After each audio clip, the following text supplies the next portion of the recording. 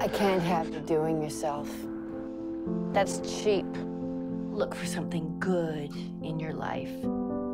Measles, mumps, scarlet fever, rickets. Your brother dropped you down the well where you spent your 12th birthday. Not much good in all that bunch. And just so you know, there ain't no white light, no tunnel. It's more like an edge with a drop.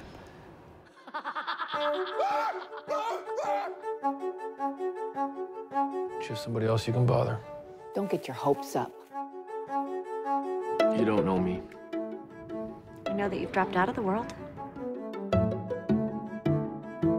Oh, we know where your head is. It's not gonna work.